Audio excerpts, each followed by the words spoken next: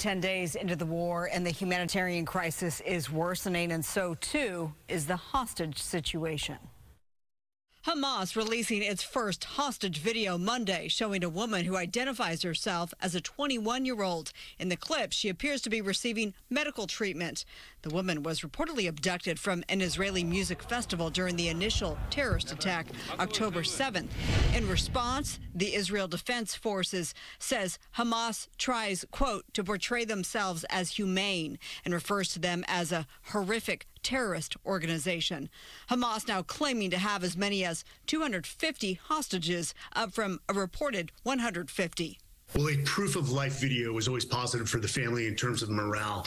But let's keep in mind, after an enemy who killed, mutilated, and raped Israelis, to show how well they're taking care of the hostages uh, means very little to the uh, the IDF. Retired Navy SEAL officer Mike Sarraille with me at 6 o'clock says the level of complexity of bringing home the hostages is unprecedented because the taken are reportedly spread across multiple locations. Usually it's one hostage in one location. You find and fix where that hostage is located and conduct a direct action raid to rescue them. Uh, this this is going to be a long battle. Eight groups are trying to get critical supplies to the region as hospitals are running out of fuel. Cross border fire increases, and a full scale ground invasion is soon expected.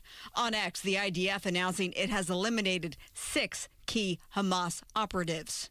The Israel Defense Forces will destroy Hamas for the sake of Israel, Gaza, and the entire world. They've got time. Time is on their side. And eventually, if you cut off vital services like water, electricity, and telecommunications, it robs Hamas of their eyes and ears.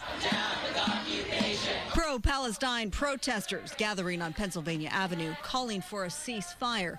President Biden confirming late Monday he'll travel to Israel Wednesday and then Jordan to stand in solidarity in the face of Hamas's brutal terrorist attack. The U.S. as of Monday now shipping American tourists from an Israeli port, many emotional. I feel so much for the people. Excuse me, it makes me tear up so much they're going through. The death toll now stands at a combined almost 4,200 lives lost. That does include about 1,400 Israelis from the initial October 7th terrorist attack. And that ground war we've been hearing about hasn't started yet. Hasn't started yet. And you heard the retired Navy SEAL say time is on the IDF side. Mm -hmm. I asked, well, does that mean that we could see this drag on for weeks in terms of the looming ground invasion? He says hours or days.